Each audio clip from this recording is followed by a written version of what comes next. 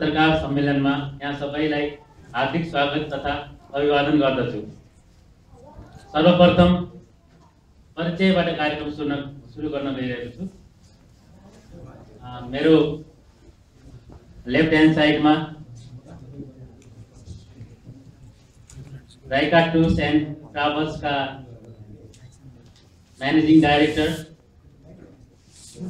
पर्यटन व्यवसायी तथा मेरा मेरो दाई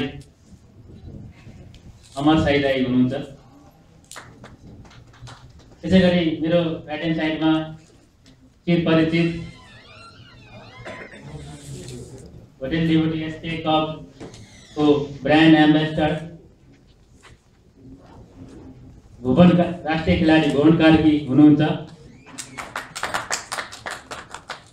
त्यसै गरी भुवन कार्कीज्यूको राइट ह्यान्ड साइडमा चिर परिचित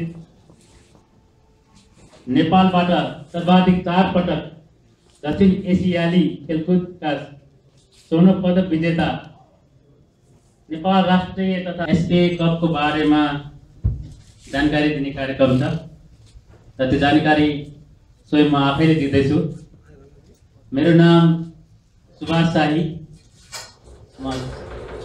एसके कपको आयोजक संस्था सुदूरपश्चिमाञ्चल एकाडेमीको निर्देशक।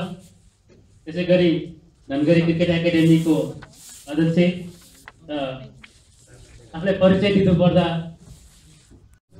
व्यवसायिक व्यावसायिक व्यापारी प्रतिष्ठान प्रतिष्ठ- प्रतिष्ठानहरूबाट अझै पनि हामीलाई साथ मिलेको छैन। सुदूरपश्चिमाञ्चल क्षेत्रकोलाई नै सुदूरपश्चिमाञ्चल क्षेत्रलाई नै यो एउटा दुःखद घटना हो। हामी यति गर्दा गरिसक्दा पनि अझै पनि हामीलाई सरकारबाट साथ मिलेको छैन। केन्द्रले र राष्ट्रिय स्तरका व्यापारिक प्रतिष्ठानले सुदूरपश्चिमाञ्चल क्षेत्रलाई हेर्ने दृष्टिकोण अब परिवर्तन गर्नु जरुरी छ। हामीले सुदूरपश्चिमाञ्चल क्षेत्रबाट दर्जनौँ राष्ट्रिय खेलाडीहरू अहिले अन्डर नाइन्टिन नेपाली राष्ट्रिय टोलीको कुरा गर्नुहुन्छ भने चौधजना मध्ये सातजना खेलाडी